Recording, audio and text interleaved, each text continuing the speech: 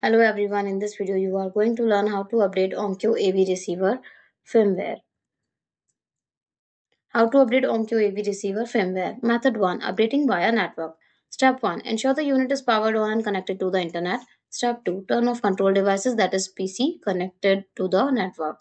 Step 3. Stop any playing content such as internet radio or USB media. Step 4. Disable the multi-zone function if it's active. Step 5. Set HDMI CEC to off by navigating to 5 point hardware, then HDMI, then HDMI CEC, then off. Step 6. On the remote control, press the setup button to display the menu. Step 7. Select 7 point miscellaneous, then firmware update, then update via net and press enter. Step 8. If no update is available, the option will be grayed out. If available, select update and press enter to start the process.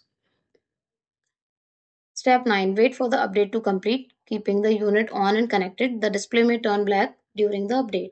Step 10. Once the update completes completed will appear, the unit will automatically go into standby mode. Step 11. Check the unit's display to confirm the updated firmware version.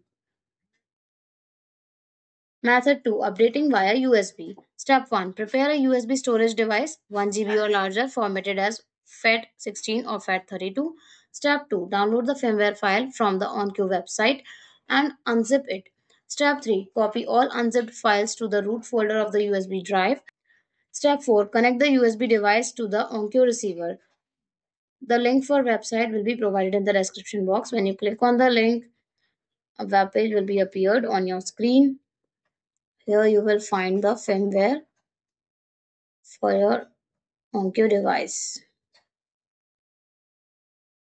You can go further whichever model you have.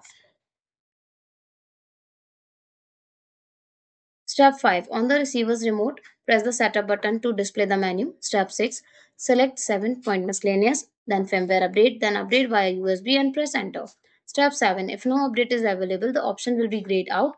If available, select update and press enter to begin. Step 8. Wait for the update to finish. The TV screen may turn black during the process, but the receiver display will show the progress. Step 9. Once completed, completed will appear. Disconnect the USB drive and turn the unit to standby mode using the power button. Step 10. Check the receiver's firmware version to confirm the update. Thanks for watching the video. Do like, comment and share our video. Subscribe to our channel and don't forget to hit the bell icon for upcoming videos.